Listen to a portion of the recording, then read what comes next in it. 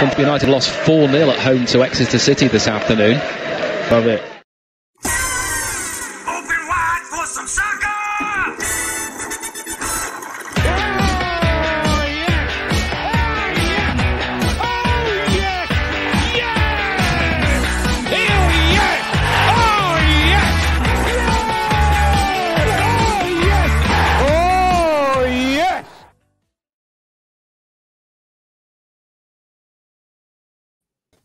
Well, hello, everybody. Welcome. We've got no games to talk about. Uh, so we will uh, talk about the non existent game that happened. Welcome, sit down. Josh Gowling will be joining us in a minute and we'll be here to answer your questions and, and sort of take anything uh, you'd like to ask him about his time, maybe at Hereford, at town, whatever, you know, what he sees in the future. Um, I guess we should, gents. Firstly, Tom, welcome. Uh, still, still going with his first out. Um, how's everything with you on the south coast of England? Did uh, any gazebos, weedy bins get lost in this week's action? Yeah, it's been really windy. Uh, quite a few tiles flown off on my street. a couple of uh, telephone cables down. Quite exciting, really. We lost our gazebo, as everybody saw. That was spectacular. Also, giving us the south, southern persuasion. Nobody here is above the M- M4 on this podcast today. Um, Mike, did you? uh, Nice to see you survived. Many casualties. Ah, it was it was all right, mate. We we, we hung on, just about survived. No, no, no. Uh, you know, uh, no trees down, no poles down, nothing. We've all lost good. a couple of plant pots, which I'm devastated about. There we go. There we go. Uh, I mean, uh, it was it was a red weather warning. We all live within it. In fact, yeah, we all do live within it. Tom, you were even in the red we- weather warning down in Pompey, weren't you? Yeah. Um, Southend and some are saying the National League, in their ultimate wisdom, decided the best thing to do was to encourage ticket sales still at 11 o'clock that morning for a game which was going to be taking place, uh, you know, in a stadium. Probably wouldn't last particularly well in one of the worst storms in the last 20 years. Do you have any thoughts on it? I have a few. I think I'm a lot calmer now than I was when I was driving home. Um, Tom, what were you? What were your main thoughts? Because you were meant to come with me, and you couldn't get up to, to Guildford because you know train line were down.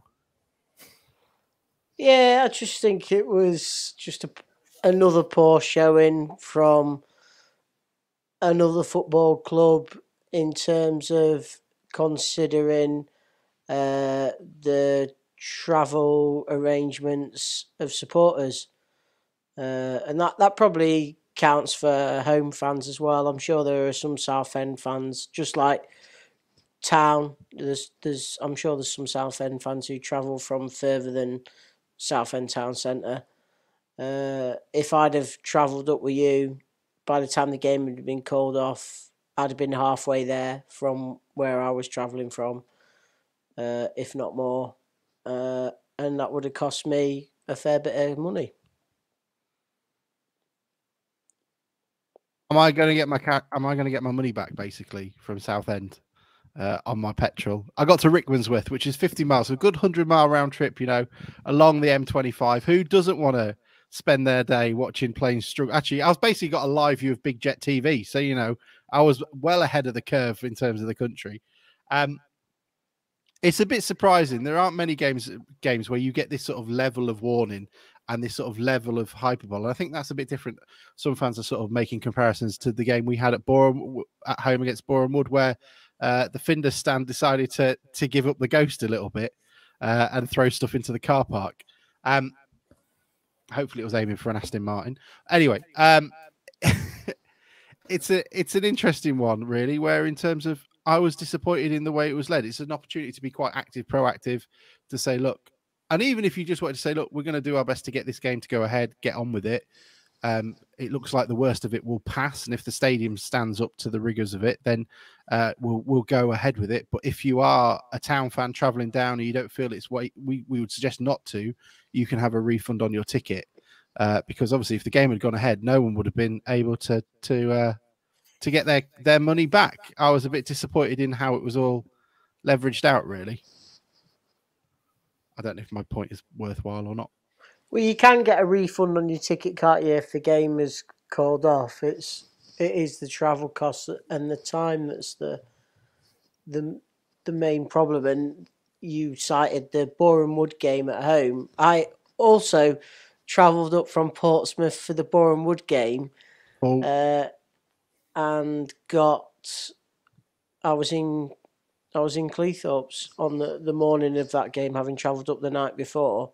I think the difference with um, with the Boreham Wood game was that there there wasn't a red weather warning before, was there? yeah, it and I think that's what I think that's what makes it different for me. Is like the Met Office say, look, you could die. Yeah, there's there's two, there's two separate points really, isn't there? There's the normal uh, postponement of games when the weather's bad. You know, you do all you can to get a game on, and then maybe the pitch uh, doesn't respond well to it, or you know something happens at the stadium. But this was completely different. I mean, the Met Office issuing a, a red weather warning. I mean, to to call it off at four o'clock, three hours before before kickoff, when you've had so much notice, is a bit of a ridiculous thing to do. We we could all sort of see that that was going to happen. And all they've done by keeping the game and trying to get the game on is they they've given an event for fans to try and travel to when it's probably advisable they don't. Yeah, Yeah, and on top of that, I don't understand why they couldn't have just moved the game to Saturday afternoon when there was loads of games on. Uh, the team, like obviously, Town were already down there.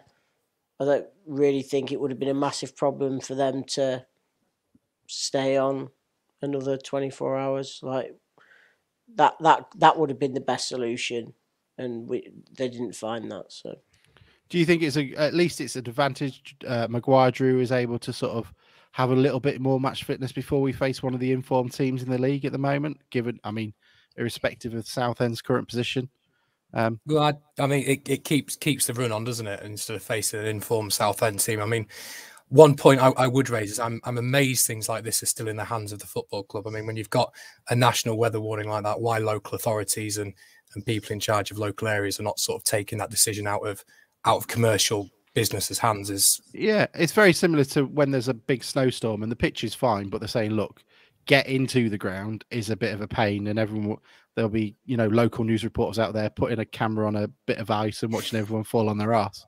Um, uh, so I mean, that's that's what we can say about that. Thank you so many for your questions. But we got the main event. Josh Allen is going to be with us in a second. Uh, I'm going to press one of these fancy transition buttons, uh, and then we'll be back with you in a couple of seconds. Uh, see you then. Okay, it doesn't make any noise, so I can talk all over it. So it now looks stupid.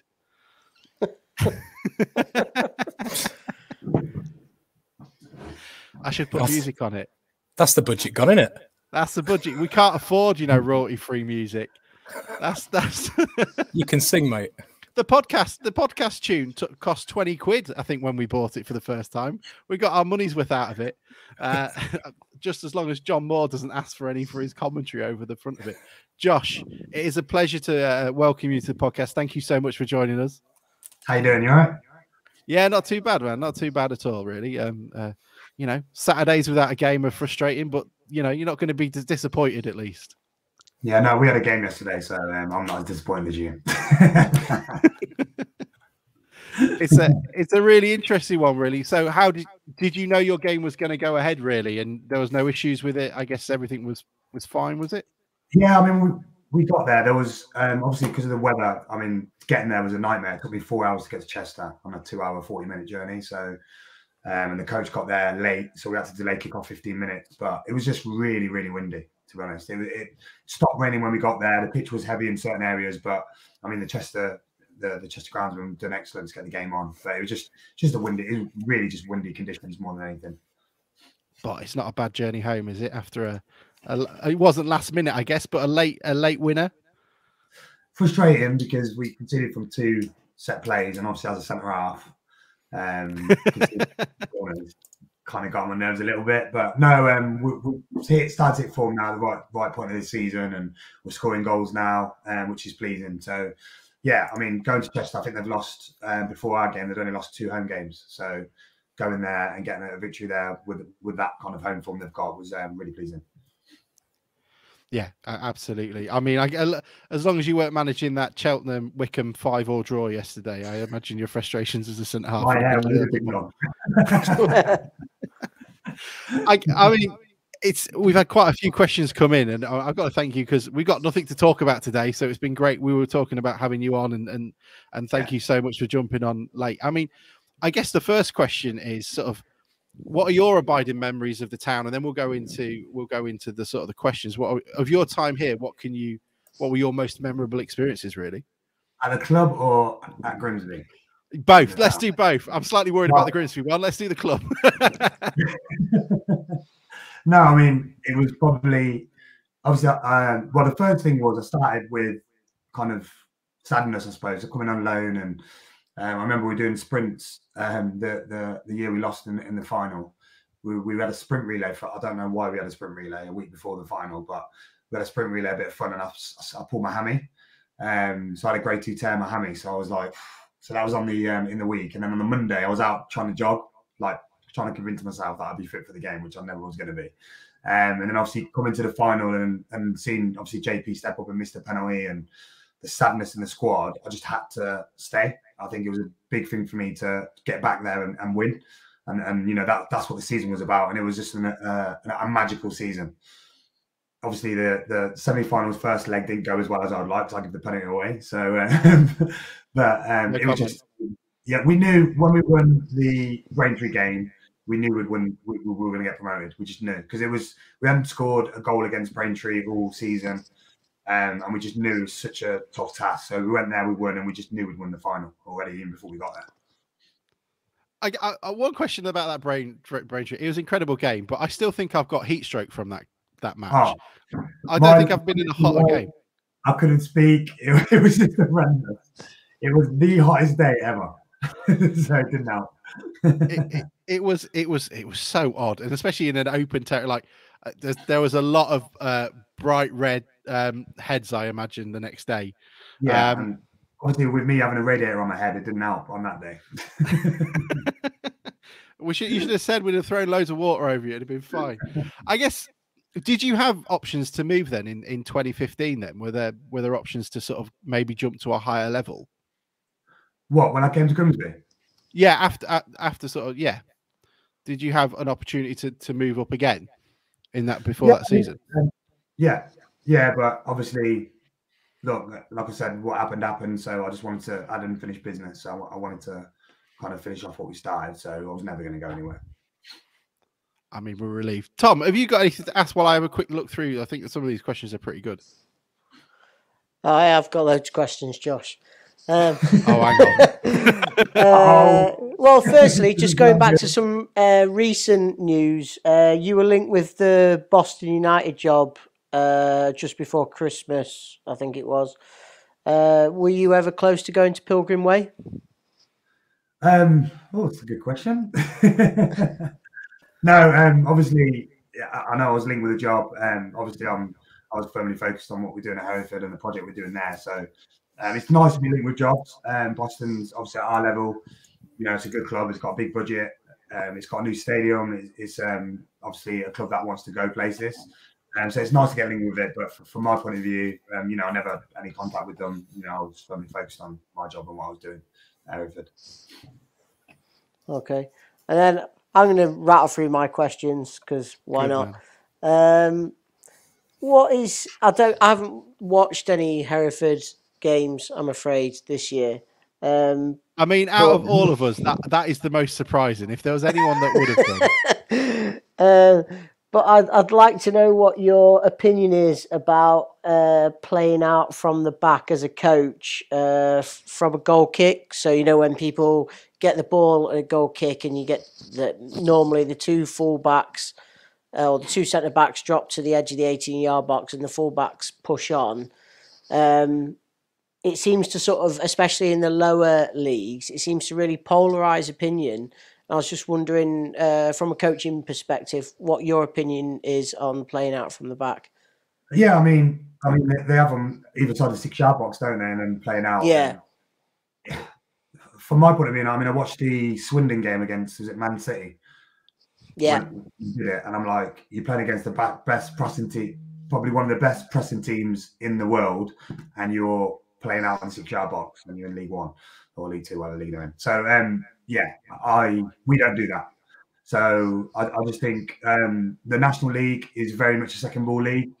Obviously, it is possession based with some teams, but I just feel, you know, the players. No disrespect to the players, but we're not in the Premier League where you know the players have got that real quality to, to, to open up teams, and teams will do it at times, and, and they'll get away with it. But for me, the risk versus reward is just not there. So I would much rather play a bit more direct and then get the ball down and play once we, you know, get our motion going, once we've got and picked up second ball. So that's how I see it. We rub our hands together, to be honest. When teams set up their two centre halves in the secure box, because the way we press, we're like, go on then. And then we'll just press press the living dead outside. And they'll break for our press sometimes, but the times they won't, uh, the risk for us is, is, well worth it because all of a sudden you're in you're in and amongst the 18 yard box. They've got two centre halves either side. They've got two fullbacks on the halfway line, and you just one v one or two v two. So, yeah, we we definitely don't do that. Okay, and then continuing the the tactical theme. Um, this last week, I've been watching uh, the Last Dance uh, about the uh, Chicago Bulls and Michael Jordan yeah. on Netflix. And I was wondering if, as a coach, you take any inspiration for set pieces, phases of play or training from other sports because I've always thought that uh, with basketball in particular, um, there is potential to sort of imitate some of their um, play, their plays from dead ball situations yeah. in footballs, especially, for example, throw-ins. Yeah, yeah. So I know that that stands well. So we name all our seasons. Um, so this season for us was called the Elevation. So it's about elevating. We did everything from last year um, because we just, I just feel like we need a clear focus for the season. Um, so we do that now. Um, I look at a lot of American football stuff, so the footwork and the movements. Um, in football, you do quite a lot of linear stuff, but you don't do lateral movement, sideways, backwards, all that stuff. You don't do a lot of that movement. So I definitely look at I do look at a lot of that. Um, and my strength and conditioning coach make sure he does that. And when I look at basketball, when you look at phases of play, you know, someone will have a shot, it might be a corner, what it is, and then they break so quickly. And if you yeah. look at our team, we're very expansive when we defended from a, a, set play. Well, we need to defend set plays better for a start anyway, but we won't go into that. But when we win the ball back, we just break, you know, with real intensity and purpose. So yeah, we I definitely look at all sports. I think we need to. Um, a lot of sports do look at other sports. I think football is catching up slowly with other sports, but I think it's still got quite a long way to go with that. Okay. Can I can I ask you a question on that one? Sorry, Tom. No, in terms sorry. of you've you've now got a, a unique perspective, being both a, a manager and, and, and, a former player. Now we we've obviously got new owners within the in the club. Yeah. As a player and now as a manager, what would you think would be the first things you picked up on thinking back to 2016, 2017?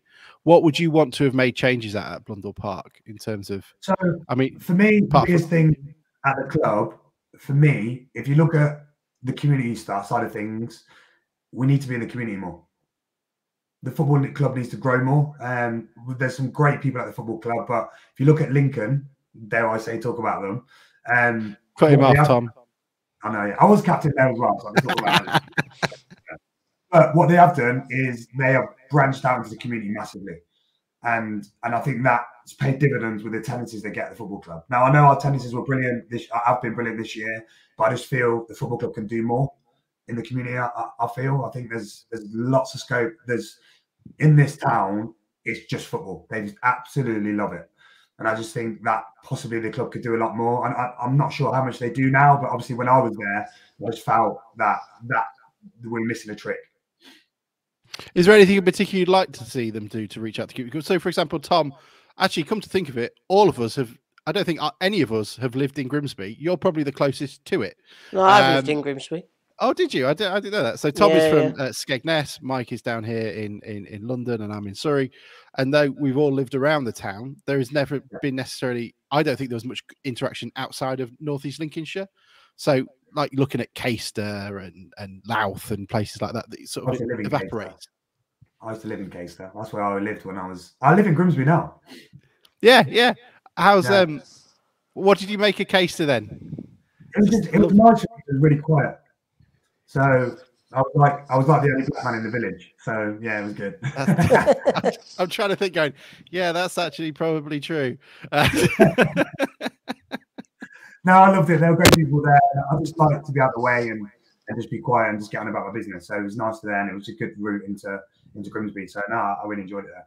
Unless it snowed. Unless it snowed. then, then you're all screwed. I was going nowhere.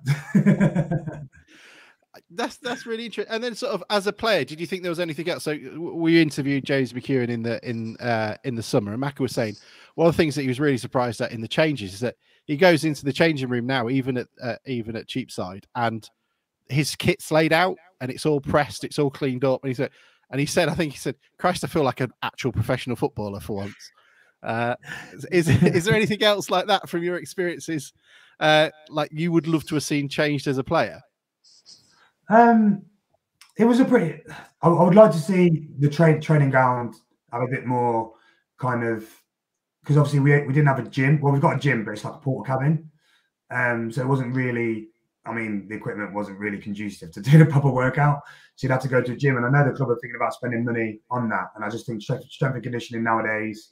I mean, if you look at the National League, it's a big league. You know, the the players are big, physical, strong, quick. I'd like to see a bit more probably invested in that area.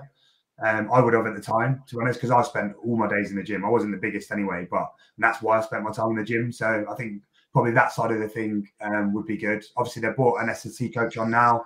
I think um, the analysis side of things and the data side of things um, we didn't really do, um, and that's massive now. So I, I, definitely would have liked to have seen that um, when I was there.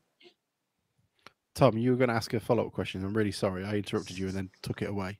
No, that's fine. Um, my last question was uh, as someone who's involved in professional football, uh, where do you see the game headed in the next 20 years? Do you think that the European Super League was perhaps a missed opportunity for the lower leagues rather than uh, what it's been portrayed as, which was a victory?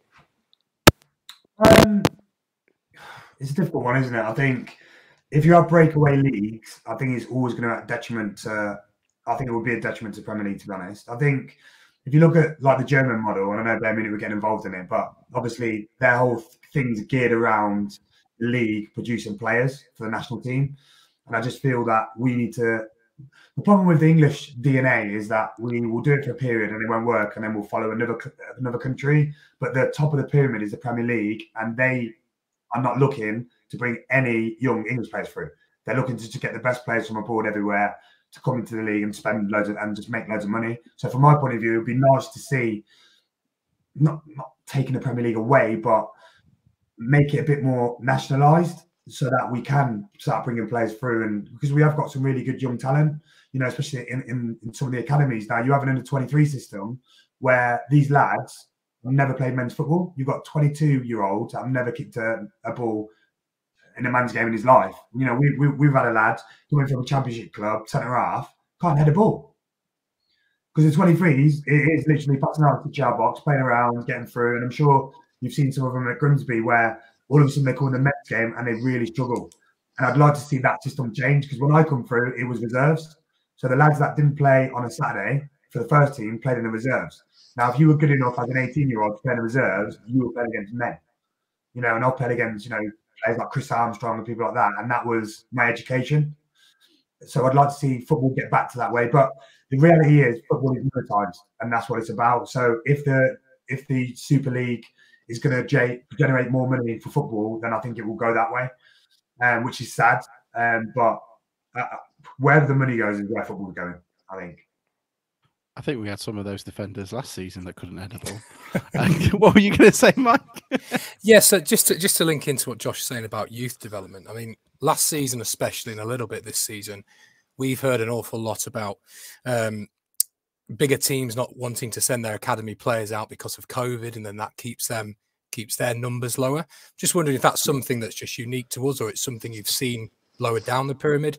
And also, how do you think that's going to going to affect those players now that the last couple of seasons they've not really been able to get out and play that football? Um, and for a team that um, in National League North, have you then had to find some different ways, like blood your youth youth players a lot more, or find a new innovative way to get around that, not having the the loan players?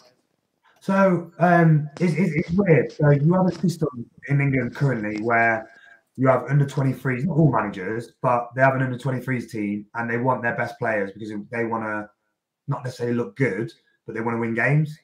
So it's that detriment to the players. So what we found was that during the COVID period, they just because the thing is we're we're not full time.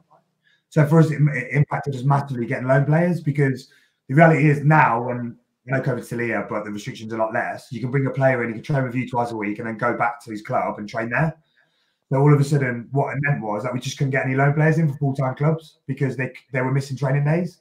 So it impacted us massively. So then we went kind of into the market, and you know, I'm obviously big on data and um, with transfers and all that stuff. And we we started looking at players that just didn't have clubs. They were waiting, they didn't have clubs. So then you can bring all these players in on non contracts, and that's what we had to do. But I think it's definitely impacted young lads uh, because they've just been sitting around, kind of waiting, um, not playing games and just sitting there. And there, there's, there, I mean, youth teams at Premier League clubs, they've got like 50 kids. They can't all play. So th- there's kids there that have that have probably spent a year, two years, and literally not kicked a ball. And it's it's really alarming for the development. And I just think if you look at the drop off rate of you know players at that level, I mean, what one percent make it? So where do the rest go? and, and, and it's really alarming when they've not played any football. Then they have to come to our levels, but they're not physically ready or mentally ready to come into men's football and a ball get thrown up in the air and a big centre half come through and how about you in the air? Like this is not ready for it, unfortunately. So I think that's why you find such a big drop off rate. But also the wages. You know, you've got some 19 year olds that are on 10 grand a week and never played men's football.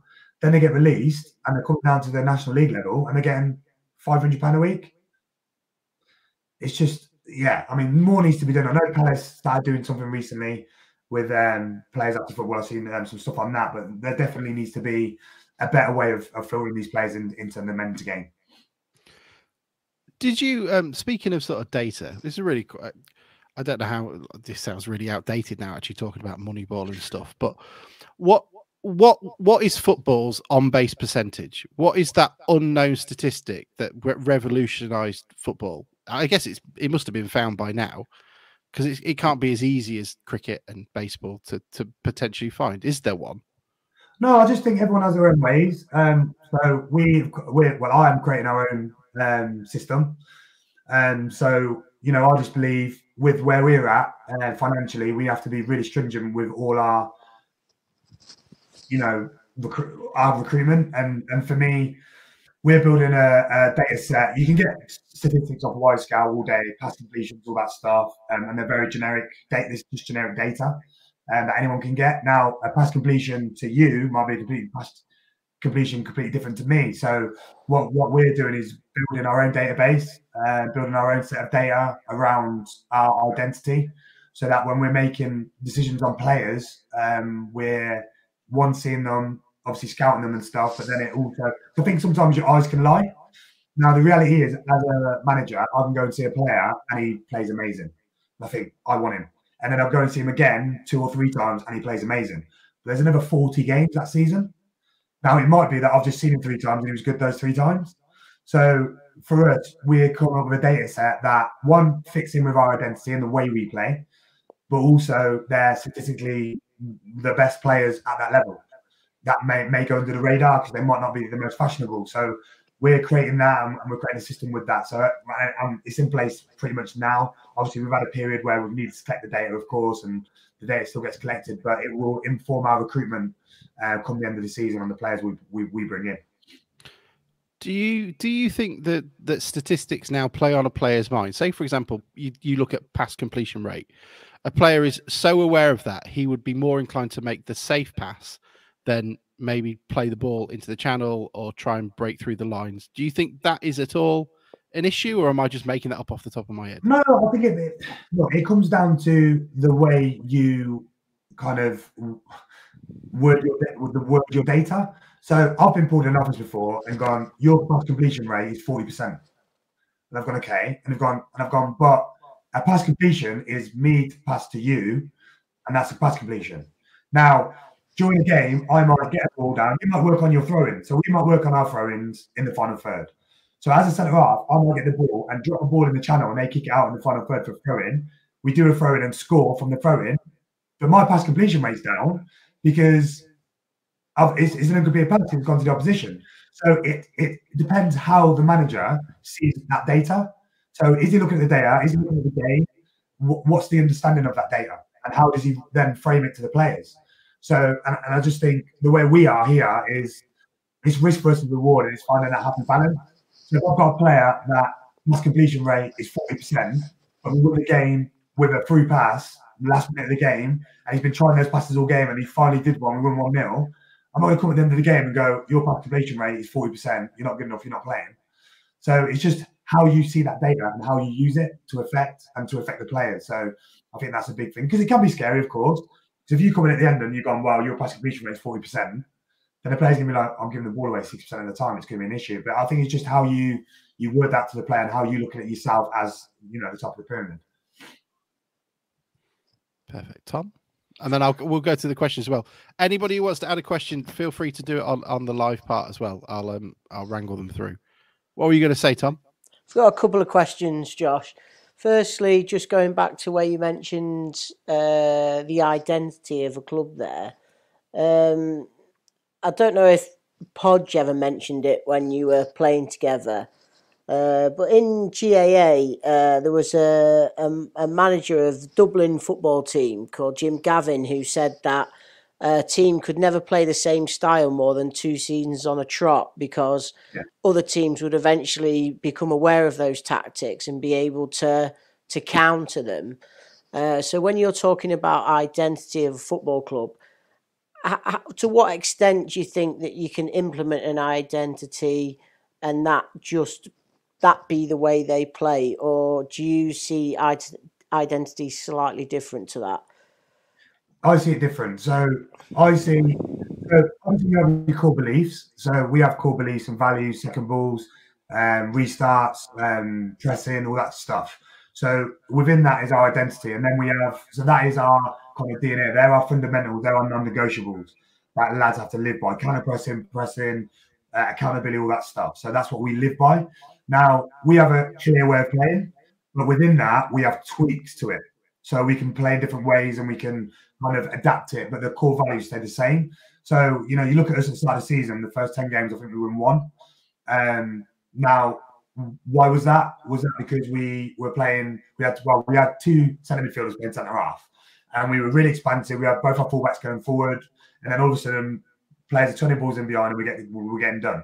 But we've got a clear system, so we can tweak our system within that. So maybe we don't get a fullback to as high, or maybe we get a centre midfielder rolling in between the fullback and the centre half, which enables when the transition turns over, we've got a midfield in a good defensive area. So I would say is it, it has to it can't be too rigid. I think it has to be fluid, but I think you have to have your fundamentals and your key beliefs behind it. Um, and, and, and I really do believe that. But I also believe that you have to have other ways of playing football.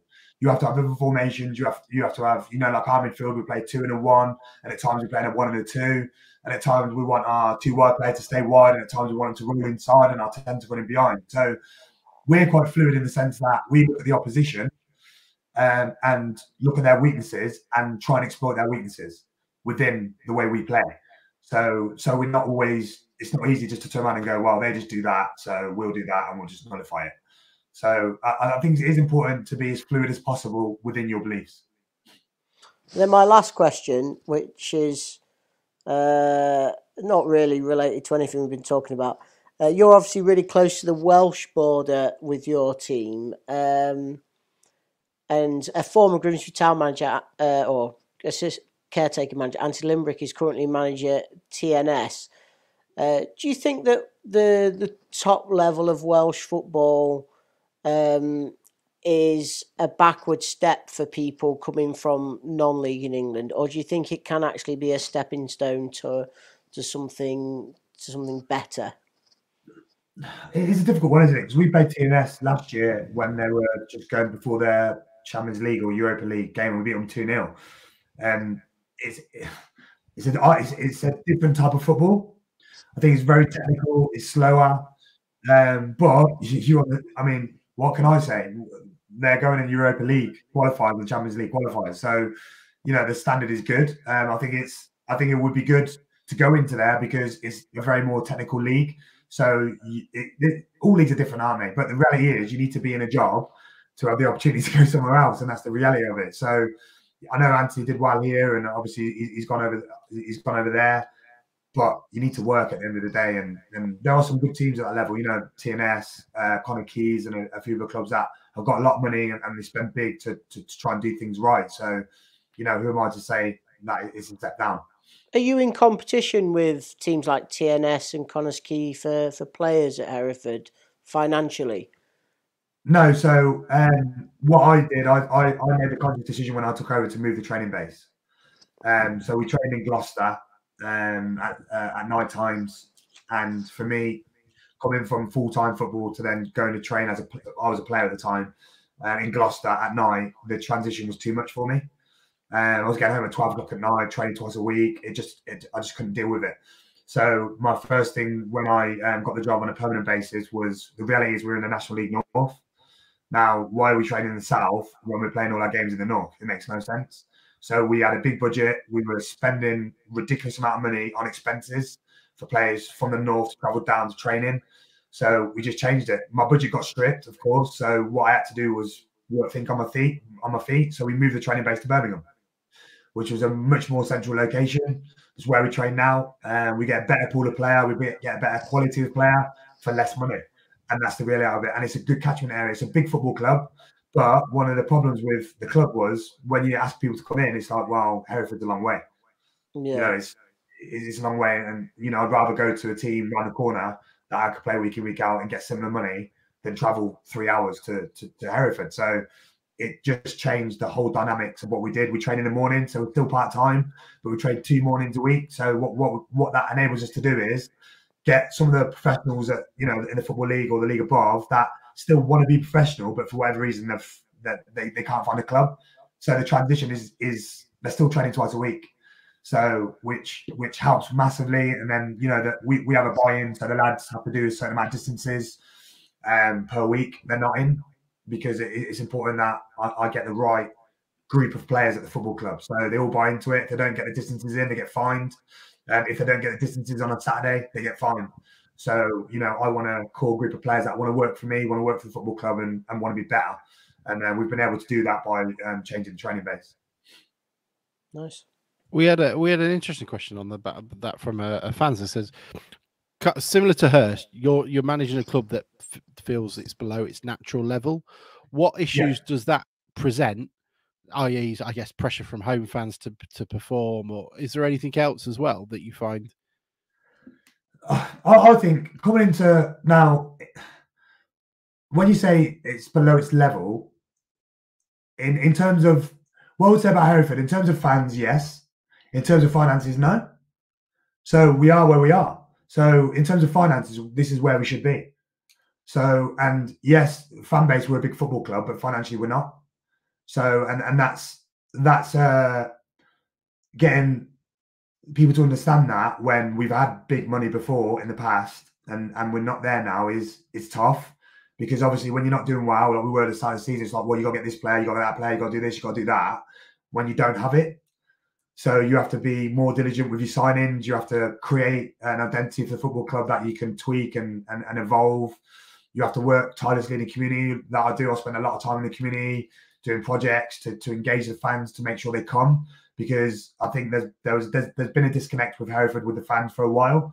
Um, and it was my job when I took over to, to rebuild that, bridge that gap, and get the, the fans back in at the football club. And you know that's what we've worked on with. We let go of the youth team so we brought the youth team back.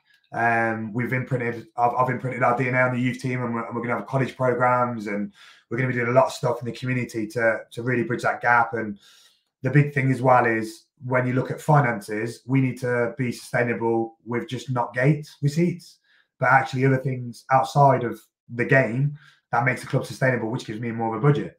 So you know, we're trying to build a football club. We we went from being our business to reformed to promotions back back to back back to back back to back and then all of a sudden we hit the national league north level and you've got big clubs york chester boston all these clubs that have got more money than you and we haven't built the infrastructure of the football club so and that's what we're doing now and i think we will be a big football club and we will get back to where we need to go. But that takes time and it takes patience. And I think sometimes that's the biggest thing um, from for me as a manager is that you know our expectation levels from our fans up there, but the reality of it, we've got a lot of building to do at the football club, which means I need time.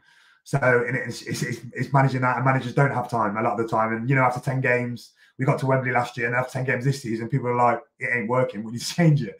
I'm like, just relax. It's coming. so it's just probably just having a bit of time. Really is the biggest thing um, to really improve what you want to do at the football club. But yeah, it is difficult. There is pressure. There's pressure from obviously when clubs come and you know things aren't going well on a match day, and, and the fans will, will get on your back. But what I would say is our fans this season have been absolutely outstanding. From you know the first ten games we had when we haven't really won any, well we won one. They cheered us off every week. They clapped us. They you know because we play a good style of football. So you know that's been pleasing. But you just have to. I, I think if you if you love a football club, um, then the staff have all got to be involved in the football club, involved in the community, and, and really that makes the fans buy into the football club and buy into you and what you're trying to do because they see the passion for it. And I think that's a real big thing and a, and a, and a big plus for us. But obviously, it's what needs to happen at, at clubs that are probably at a level where they could probably go again. Right. It's time for the it's time for the questions from fans. So we'll we'll No. we'll avoid for the we'll, we'll avoid the questions at the moment of Gullies or O'Neill's or uh, Popwell. uh, so I guess um so Michael asked, and this was probably the, the one of the is one of two that were highest voted. The other one's quite funny. Uh, after getting us promoted, did you think the nucleus as a squad would be kept together, or was it expected?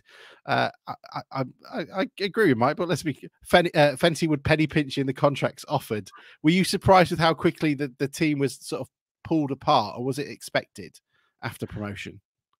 I've never said this, but coming back the year after we got promoted was the worst feeling of my career. Really? Because- wow. we got promoted. We were like brothers. We had a squad. We worked for a manager that we obviously we worked tirelessly for. We deserved to be in League Two with that team. And when I come back in the summer, and there was loads of new faces, some of them attitudes weren't great. Um, it was disheartening, disheartening to be honest. And it was, and it was sad, and I was angry if I'm going to be honest, because we'd worked so hard and what people don't understand about this football club is the pressure that season for us to get promoted was unbelievable. And the relief, it was more relief. And we know what it meant to the town. And to get promoted, we just, it was just, just like we were gods. And then all of a sudden, you go into the next season, well, you go into pre-season on the first day, and you look around, and there's four four of your mates from the team that got promoted was just heartbreaking, to be honest. Absolutely heartbreaking. Was it was it a surprise that that Hurst left? I guess with that sort of attitude, that must have permutated around the building. So, an option like Shrewsbury comes up, you can kind of understand, I guess. Yeah, I just think it's a it's a great football club, isn't it? If we're going to be honest about it, new stadium, real big history.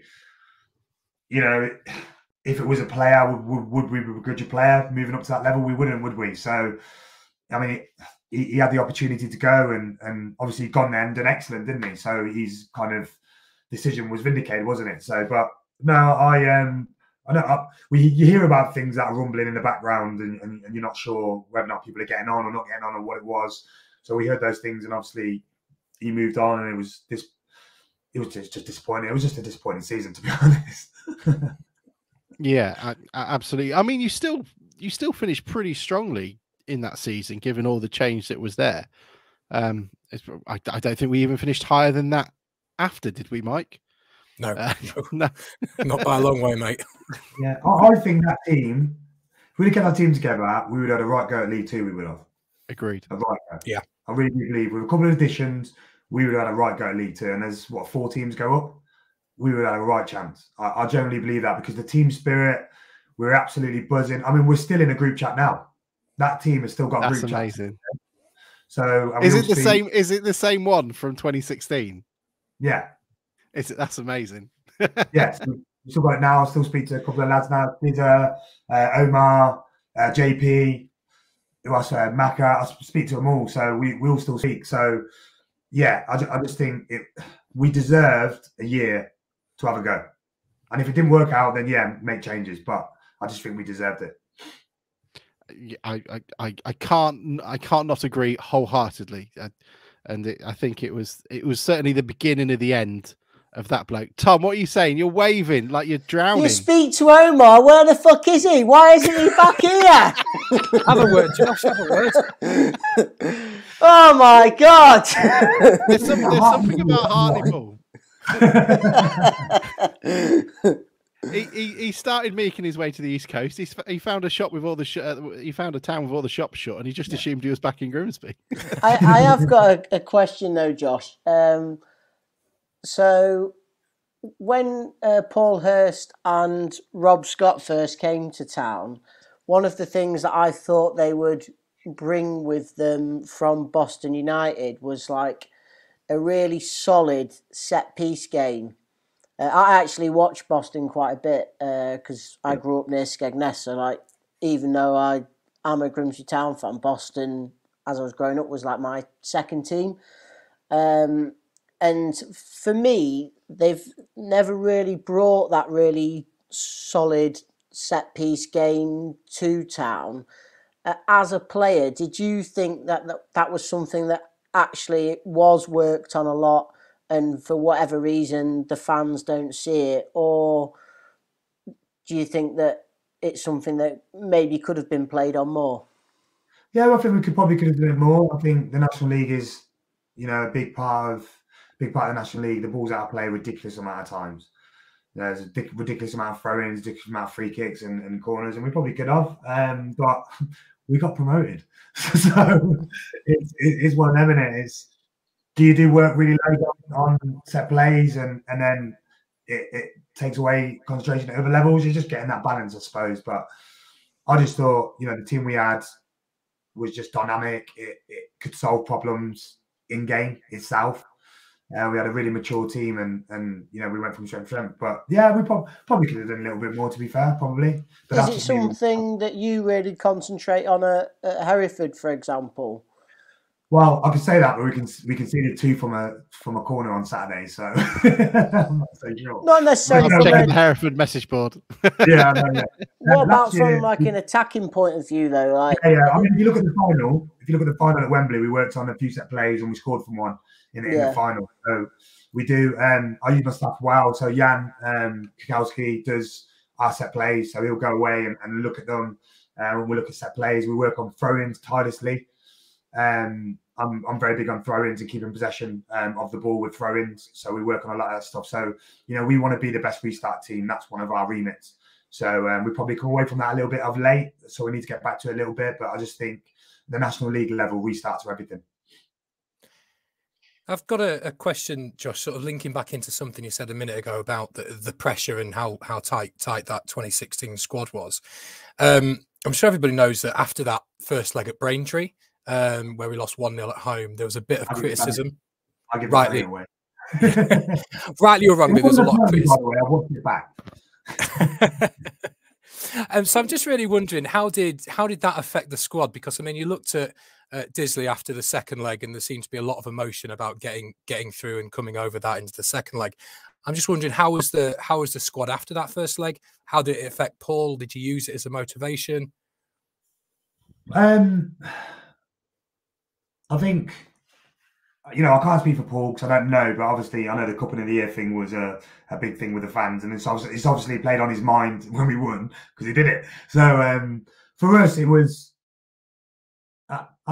we knew it, we knew what was there, um, but we also knew the pressure of that season to go up, and we knew that, and, and I think that was a big thing. So going into the game, it was it was a pressure cooker to be honest. The Braintree game, like I said, we've not scored a goal against them all season. We lost 1 0 at home, and you, you want to go, you want to play at home and, and take a lead going into Braintree.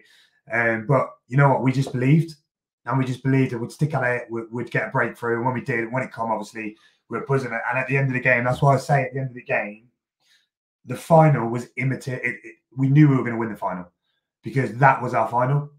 Because of the pressure, because of obviously what gone on with Hursty, because of obviously the the the, the way we just hadn't beat Braintree all season, we just knew if we'd win that game, we'd get to the final. And, and we'd heard also that Forest Green weren't wearing their suits because they wanted to wear it after they won the final. So that Oh, wow. little bit, yeah, a little bit more spice to it. So yeah, I wish you could have told the rest of us, mate. You'd have so, sa- saved a lot of nerves on that day. You should have just told us you were going to win. to be honest, we were well, we 2 0 up, we went in at half time, we were like, yeah, this is easy. And then we come out second half and he put one of the top pins, and I was like, oh my squeaky bum time.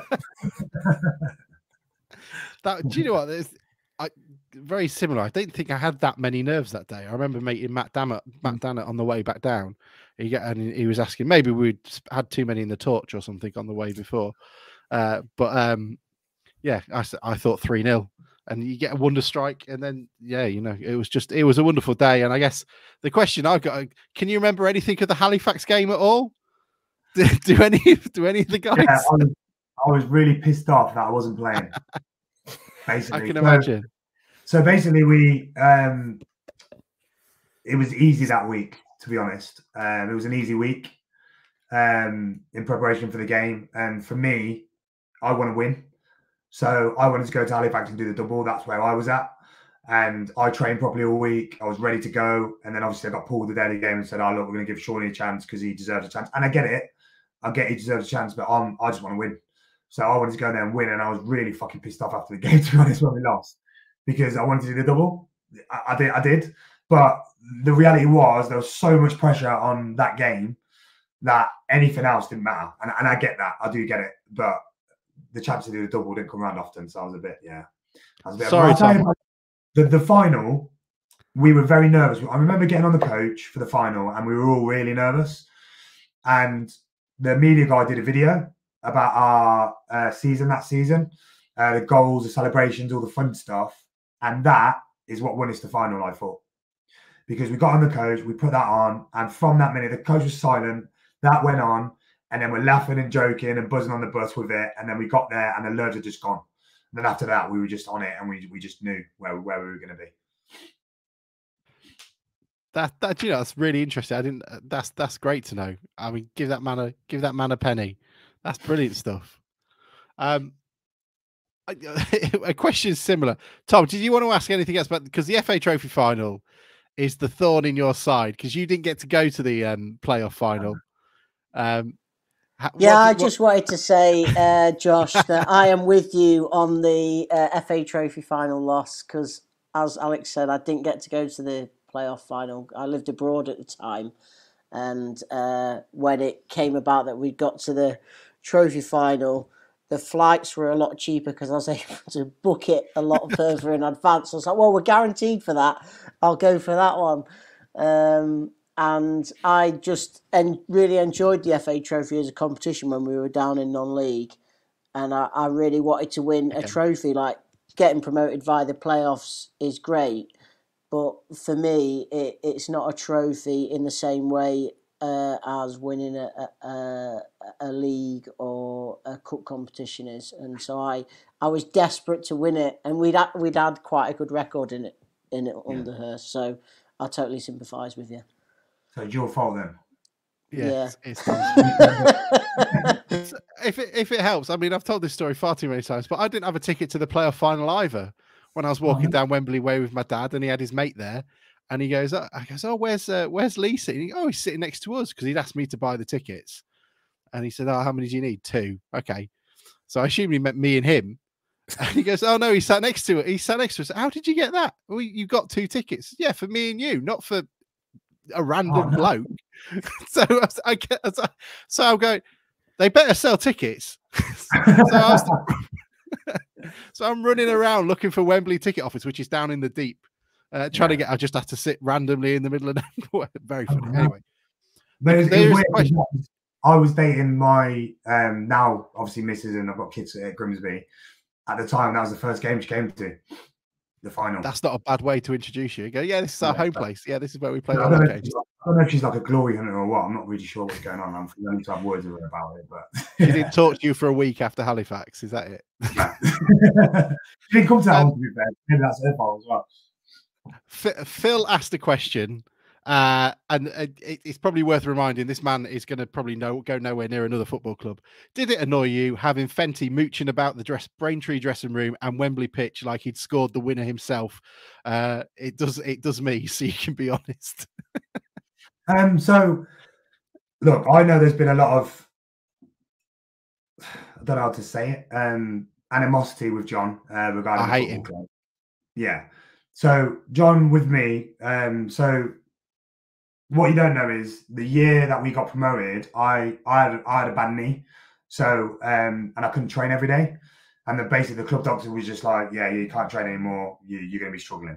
So John paid for me to go and see a specialist, get a knee up, and get it all sorted. So and, and what he did do in the summer when I had it done, he, he contacted me on a regular basis how I was and, and made sure I was all right. So, you know, John's always been all right with me. Um, you know, I thank him for that because he got me through the season. So, but I also understand a lot of the history behind you guys and, and with John and stuff. So, you know, I can only go on my experience with, with John. So, from from that point of view, I, I, I can't say too many bad things about him. Um, we went to his we used to go to his house every start of every season, he'd throw pie for the team just to welcome him and start the season and stuff. But look, I know where he's at. I know he's tight because uh, there was times we we want things done at the training ground and he'd be down there with his spade and shovel and do it himself rather than paying for anyone to do it. So I get where you're coming from with that side of things, definitely. Good stuff. Okay, right. And then Lee. So Lee has asked a question that's coming, and if anybody else wants to do it, um, sorry if I missed this. Does Josh want to manage town one day? Uh, um, we'll see. we will see. We'll, uh, I'll never say never. That's for sure. So we'll, we'll see how it goes. Obviously, I'm not looking that far ahead. Um, obviously, I'm just starting out in my managerial career myself, so I've got aspirations. I mean, my aspirations get to the championship as a manager, minimum. So that's where I want to be, um, and that's what I'm working towards um, doing that. So, look, Grimsby is is a club that's always going to be in my heart. My kids are from here. My partner's from here. Um, the relationship I've got with the football club is amazing. The, the staff are still here. I go in the club shop at times and speak to everyone. And obviously, the things that I did in my career here will just live with me forever. So um, the club's always going to be a part of me. So if it means I manage the club one day and I get that honour, then, then, then fantastic. But if I don't, it, for me, the memories are, are forever. Michael, I can't ask your um, top 11 because uh, we'd be here a while naming your favourite town 11. Um, so uh, James Howe asked, uh, Grimsby are back in the league that you fought. So we've already talked about it. So how does it annoy you that they're back in this league so quickly after? Yeah, the, the I, mean, I came to a lot of games last year, um, and yeah, I was I was angry to be honest because the the way it turned around so quickly, and the mismanagement of stuff at the start of last season, which is the reason why it ended up going the way it did, was disappointing for me because I think we just worked so hard to get there and get back up and and to be honest, it was a poor league last year. And for us to go down last year in such a poor league, I was yeah. Were you, were you surprised that a manager of sort of Ian Holloway's experience let, pre- prepared a team in that way for that season? When I saw the signings, I was worried at the start of the season, if I'm going to be completely honest, because obviously we do our homework on players, and when when when I saw a few of the signings, I was a bit. I mean, they took a few lads from you know leagues below mine, uh, which you know it's it's League Two. It's it's not the National League or, or our league, so I was slightly concerned. Um, but you know, you look at him; he's charismatic. He spoke well. Um, he got everyone believing in the club. He got the fans together, which was great for a period. But obviously, I think not having a preseason is just unbelievable. How that's happened, I don't know. Um, preseason is the basis of your season. If you don't have a preseason, you've not got a, a hope in hell of doing anything. And the fact that they didn't have a preseason is beyond me. I've never heard anything like it. Play Cleethorpes. oh. Yeah. um, uh, Richard Young asked, uh, obviously with with Giles Coke and, and Lenny coming here, was there any form of tension with you and, and Hurst over that, or? Yeah, I'd say yeah. so. I think I think when you've got something that someone else wants and you don't want to let it go, then obviously there's always going to be a bit of tension. To be honest, I think that's just human nature. Um, I didn't like the way things were portrayed in the press. If I'm going to be completely honest, I think better with a rather than putting things out like that. But you know, that's kind of that's football, isn't it? Um, so yeah, it was. I, I was probably more disappointed with Lenny than I was anyone else. The way he went about it. Um, Giles' situation was different. Um, there was an issue. I mean, the, our my football club has had issues, had, had admin issues that we've sorted, and, and there was a big part to play in it. So we, you know, we held our hands up and we held our hands up uh, with it, and with the Giles situation, with his registration and stuff. I mean, he was at Grimsby for a pretty long time. So uh, you know, us getting the blame for that was beyond me when he'd been in for two months or how long he'd been in. So no one checked his registration and we got the blame for it. So I felt that was a bit strange. But um, what I did do is I rang the club, I rang the FA, I rang the National League, and I pushed it as much as I could to make sure that Giles could sign at Grimsby. And I did everything in my power to do that. And you know, obviously for me to do that and then see that in the press was a bit disappointing. Lenny's wondering why he's been removed from that WhatsApp group.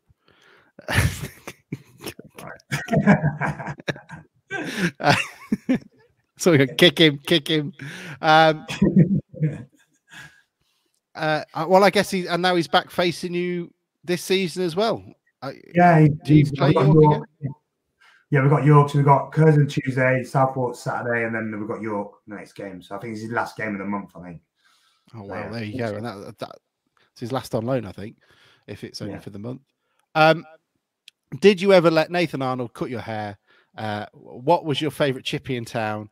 Uh, and you seem to have a real affection with the town. What drives that? Because a lot of, I mean, maybe we just pick the ones that like us, but um, what is is there something different here? Is it because it's a cut off community, or and it's got no nothing else to to look to? I think. Well, my missus is from here, so I'm a, I'm a two kids from here, so that kind of helps. to be honest, but I tell you something: no, the, the, the women of Grimsby do a hell of a lot of work for this. But if if it wasn't for Ben Davis's wife, he wouldn't be here. Exactly.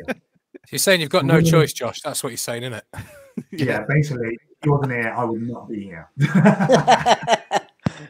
but um, no, um, obviously, when you when you do something that we did, you always have an affinity with a place that will never die. I think, and and the fans were great with me from day one. Even coming, knowing that I played for Lincoln, and then coming here, they um, were absolutely. You, you guys were absolutely fantastic with me, and and you just.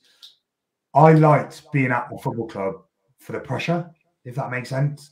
So because I like the fan base, I like there was loads of fans. I like that there was a kind of expectation to for us to go up and and that kind of pressure. And I'd like to think I thrived into that. I played my best games when there was big crowds.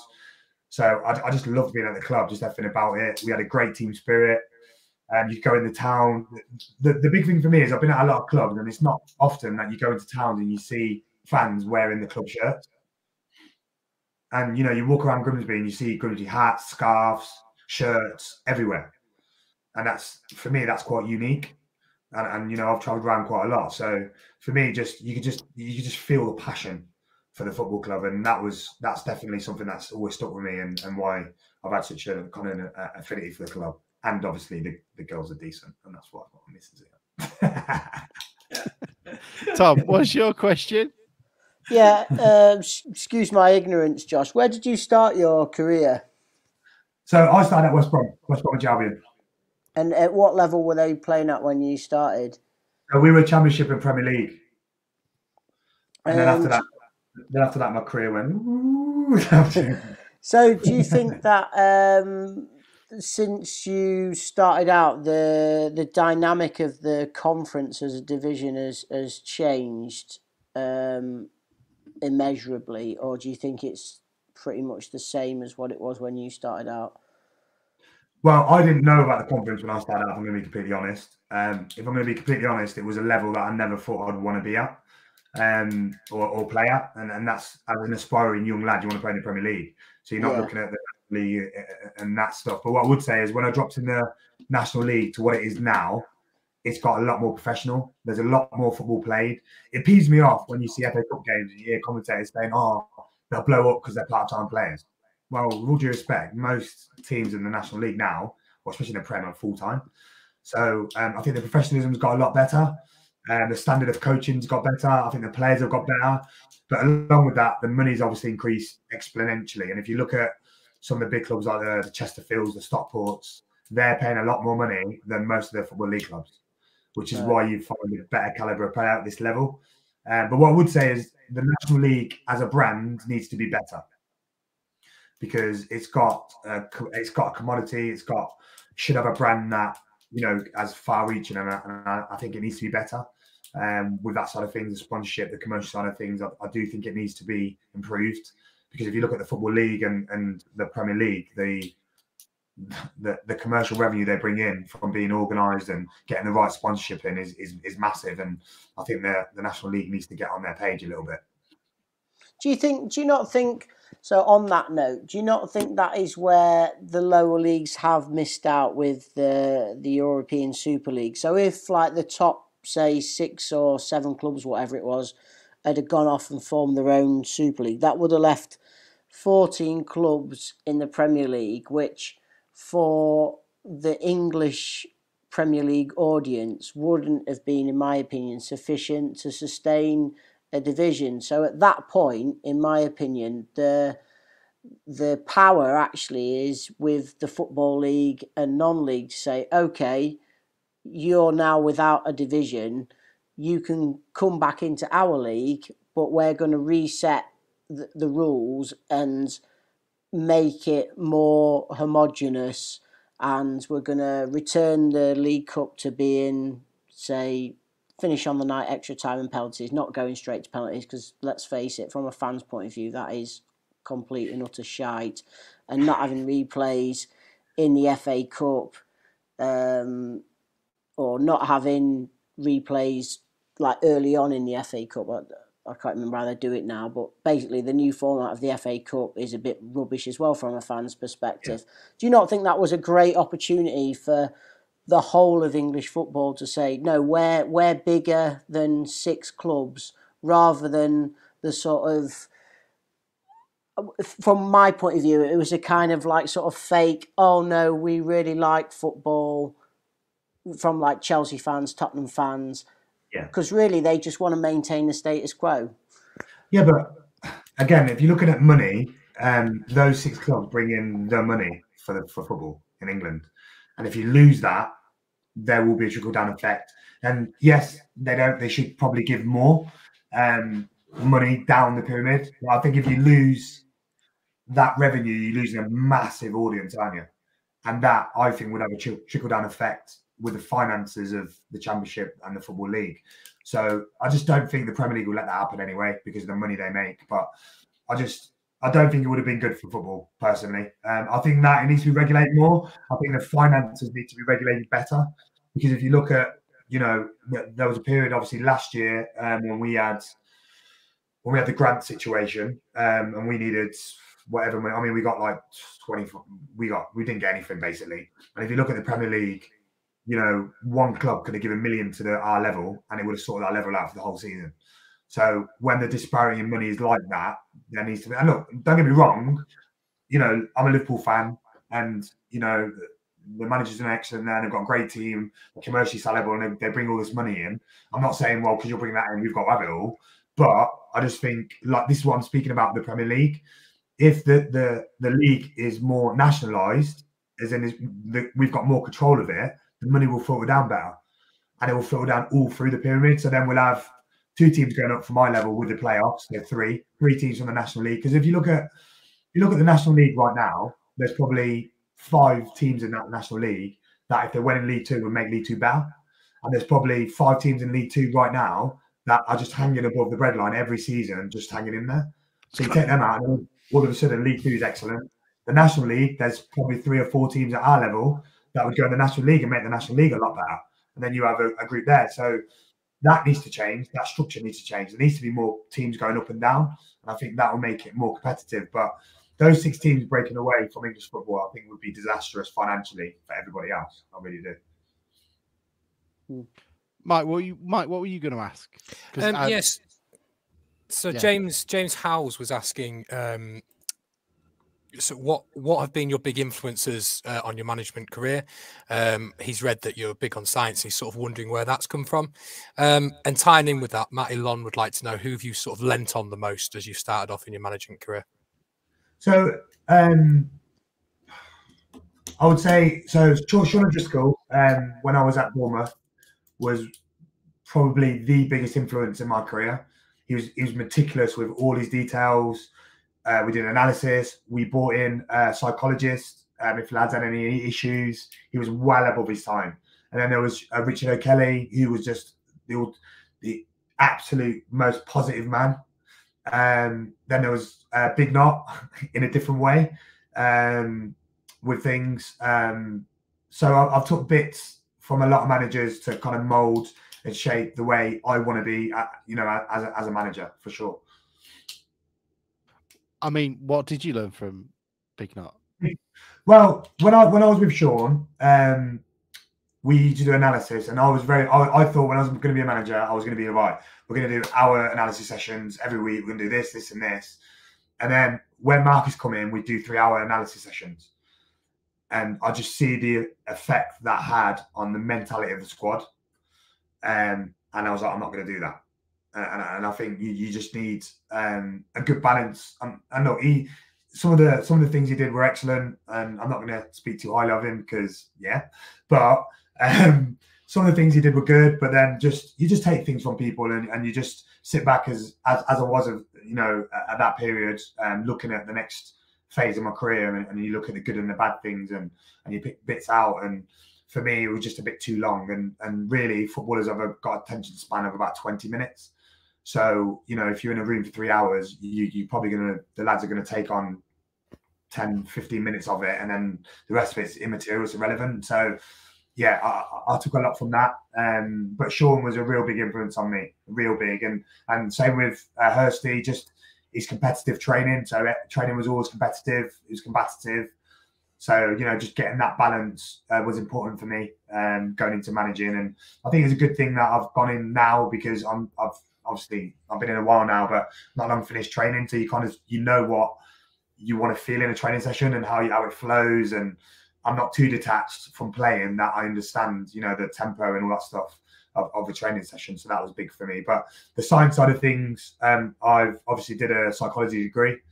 Um, I looked at football, and when I was in my late twenties, mid to late twenties, I started looking at football and having a look at the way it was going and I just felt that the mental health side of things was vital moving forward, and and you know player development and the way the tonality of players was important. So I wanted to learn that, and I wanted to learn you know how to get the best habits out of players and how to speak to them and what drives them and what motivates them. So that's that that drive was was what that came from really, and just doing loads of reading and research on things. So yeah, that more than anything.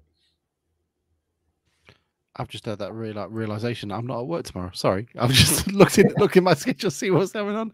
Um, the one of the questions that we get asked by every player uh, for every player is, who was the best player you ever played with? Let's go with town and then overall, because I imagine that both Bournemouth and uh, one thing we haven't touched on is is sort of your time in the Danish Super League as well at the beginning of your career. Who yeah. were the best players that you played with that sort of stick out in your mind, both at town and elsewhere? I mean, away from here, there was a lad called Stephen Cook. Um, he was Villa. He made his debut when he was 17 against Man U. He was unbelievable, but he just had injury after injury, and he, he just didn't um, didn't materialise. But the one name that really sticks out is probably Darren Anderton. I just think. I mean, that's the, cheating.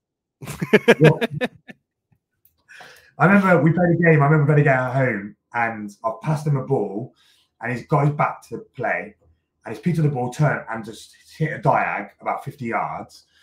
And I looked at him and I thought, oh, I didn't see that pass. And I was looking at the whole pitch.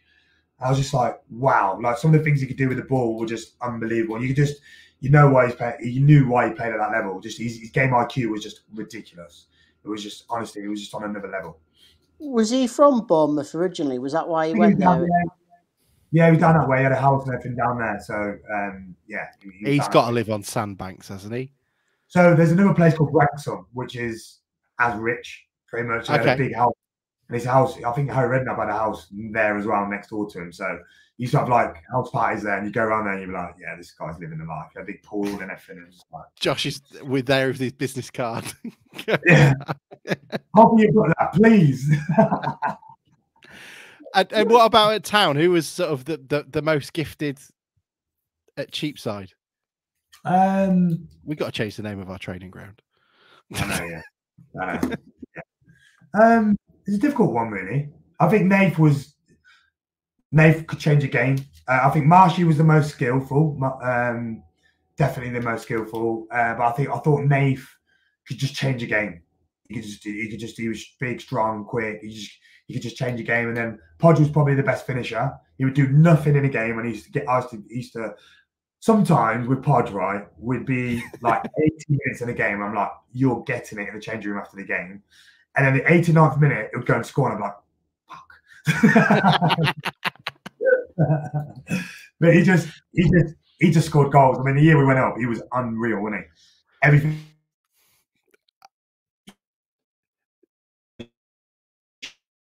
Oh, we've lost Grimsby. Uh, that was that's unfortunate. Who changed my thing to Hurston? I did it. I'll see if um I'll I'll take Josh when he starts moving again because it's a rather unflattering image of the poor guy.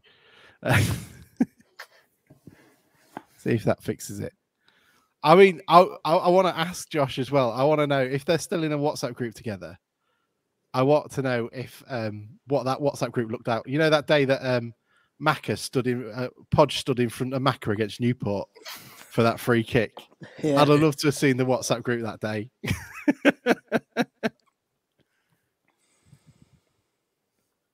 I hope we haven't lost Grimsby. Have we lost any viewers? yeah, maybe it's Grimsby. We're all right down here, aren't we? It's finally Storm Eustace has got up there and taken revenge. Apparently, Leeds is is is mullered today. Uh, apparently, there's a barge stuck underneath the why did I do that? It's stuck under um stuck under the Leeds train station, and it can't. No trains can get in and out. Uh, so that must be fun for Yorkshire Police, who had 900 officers on duty for their game with Manchester United today. oh, slightly less for when we go go to Nottingham, then. Oh yes, yeah, slightly less, yeah. But we have we we obviously have Times journalists as well to help out. Welcome back. One thing I was going to ask. One thing I was going to ask you, Josh, is if you guys have still got a, a um, WhatsApp group. Speaking of Podge, I'd have loved to have known what the reaction was like. There was a day um, when uh, when we played Newport and Podge was there. He went and stood in front of Macca for a free kick.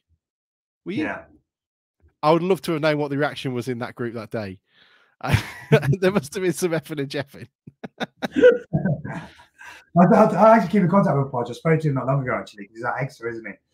So, um, yeah, and he's, he's looking at transitioning in his next phase of his career as well. So, I think he's going to go down the coaching and managing route as well. Are you, are you, are you uh, trying to get a, an option for a player sort of coach role for him at Hereford? I don't know what you mean. wondering, wondering why Hereford have scored 95 goals last year, next season, all from a grand total of 35 yards. um, what were your? Are there any other stories that? Are there any stories that you can tell about your time at town to wrap it up uh, that we might not have necessarily asked? Or are there any abiding memories that you do have? I'll just just of Moro being everywhere in his shorts and t-shirt, no matter what the weather. Unreal, isn't it, Dave Moore? The strongest was... man.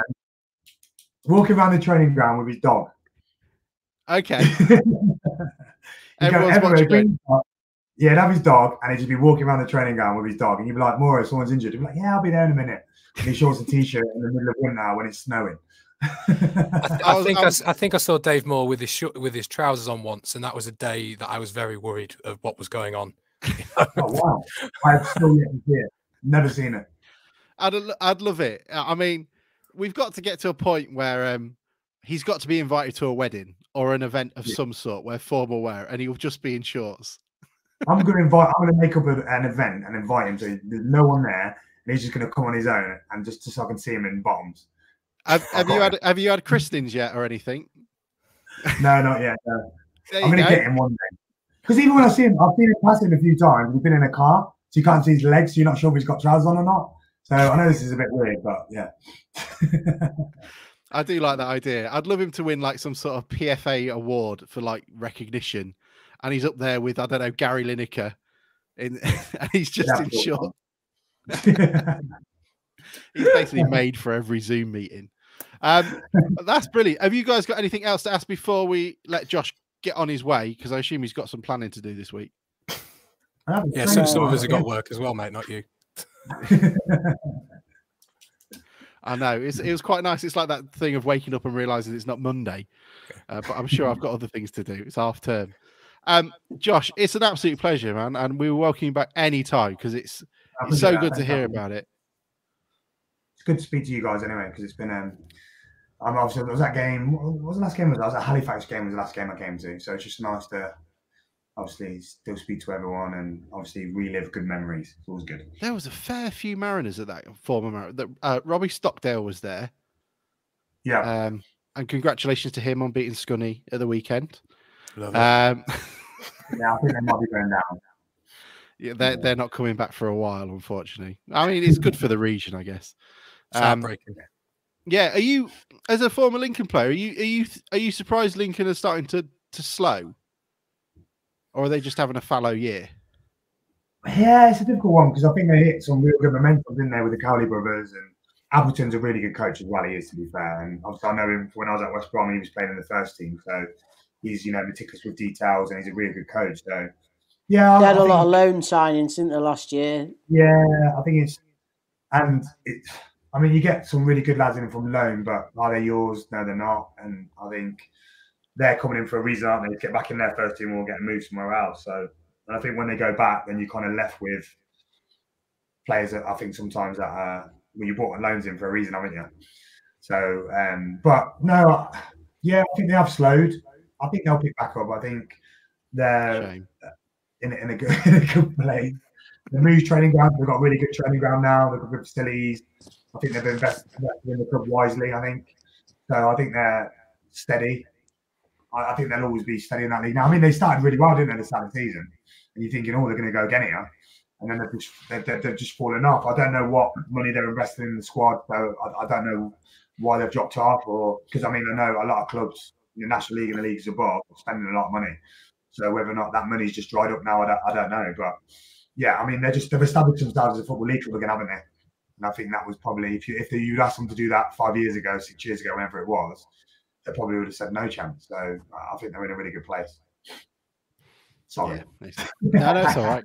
It, all I can say is it's good for the region, I guess. If it's a strong region, it's a strong, strong opportunity. It's, it's when we start taking players on loan, it'll hurt. Um, um, I mean, it's been a pleasure, and thank you so much, and thank you to everyone to listening. Mikey, thank you for joining us. So glad you survived Hurricane, whatever it's called. Same with you. Tom. New one coming soon, isn't there? Oh, brilliant! I've only Yeah. just taken. I had- I was out there with a Dremel taking down a metal gazebo yesterday. Uh, There's nothing worse than being in the south when there's cold, bad weather. we need a know. They're not used to it. That's true. Oh well. Uh, well, speaking of down south, we'll see you around here sometime soon, Josh. But um, speak you see, Yeah. see everybody. I'm gonna. I'm not even gonna do the the code